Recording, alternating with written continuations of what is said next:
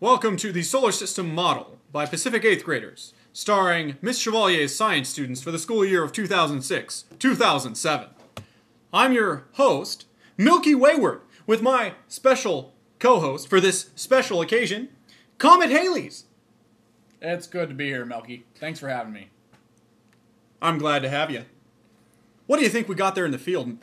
Uh, looks like a bunch of middle schoolers. Uh, looks like we have a sun going on here with some uh, yellow balloons. Well, here we go in here. Oh, we've got pink shirt. Uh, that may be Saturn and uh, Uranus there. What are we going out to here? Pluto, possibly. What, what are you thinking, Milky? It could be Pluto, or it could be Eris. There are two dwarf planets, I hear. I have never heard that in my life. I had neither until today. But apparently there is. And I imagine it's quite small because it's called a dwarf planet, hence the small planet size. Gonna have to go with you on that one. So, why do you think these students are circling the sun in this way? Well, apparently we have uh, some fusion going on within the sun. I'm not sure if this is what creates the sunspots. I, I, I, I'm really going to have to do some more research on it. Um, do you any, know any more about this uh, fusion concept? Well, I believe fusion is a very hot process, and that's part of why Yeah. uh, the sun would be so hot, Yeah. if you will. Yeah. Uh, I, I don't think anyone lives on the sun because it's so hot. It has not been proven What's that? that nobody lives on the sun. I mean, we can't get close enough, but uh, maybe somebody else can. Well, apparently these kids are on the sun. Now, what have we got here? It looks like Saturn is uh, perhaps having some difficulty. Is that a paper plate? Perhaps. I didn't know planets had paper plates. Look at this guy's face here. It, it's looking like he really put a lot of thought into that mask there. Indeed, he did. We all know masks take a great deal of time, especially when paper plates are involved. It's true, it's true. Now, why do you suppose there are a few students standing around the sun with these, um. It looks like they're confused right now. It does look indeed like they're confused, as we are too.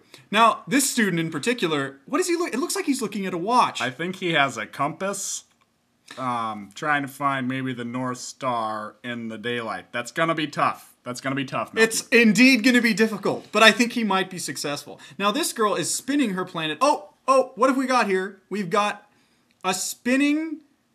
Oh, it looks like the, the moon rotating around the Earth. And uh, here we have Jupiter spinning around the sun from the uh, gravitational force that it, it does put out.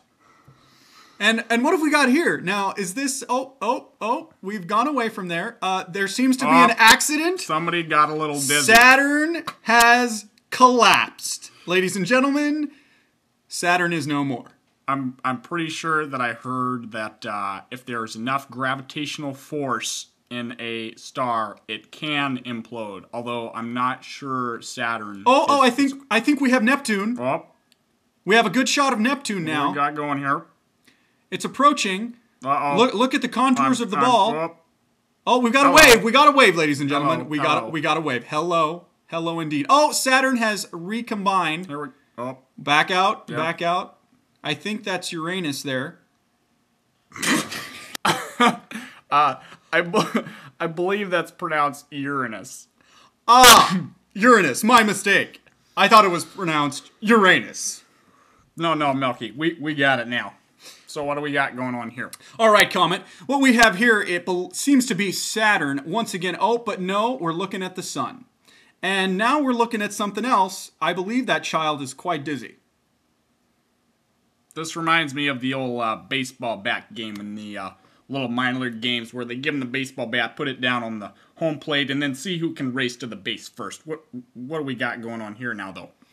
Well, I believe we're looking at uh, more closely to the inner planets, and um, it looks like uh, uh, what have we got? We've got Oh, the The sun to is go. the fu- The fusion Oh. is remarkable. Here we go. Uh, they're really getting into it here. Um, that that child there seems to be the leader with the sunglasses over his mask there, um, wailing his arms around. Well, it is sunny out. This is true, and they are the sun, so it makes sen- yeah. sense that he would have sunglasses, indeed, wouldn't it? These are gonna protect you. That girl right there doesn't seem to. Oh, she's stepping. No, She took a step. Oh, wait, what? What is happening here? We have a Macarena brewing. There is a Macarena brewing. I have not seen that in years. Since I was in middle school, really. I'm loving it. It's been a while. Now, we're looking at trees. I wonder why we're looking at trees in this situation. Oh, we're zooming. Wait, we're here. zooming. Oh, I believe it's Pluto. Pluto is having a little dance routine, Pluto is one of the outer dwarf planets. as is Eris, which we found out today. That's true.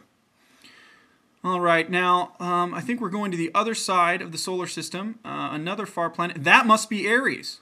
This reminds me back in Nam when I had to go from Normandy over to Korea, and uh, it, it was a long trip. Now, going from one side of the solar system to the other is a little bit farther trip. Uh, uh, what do you think? Yeah?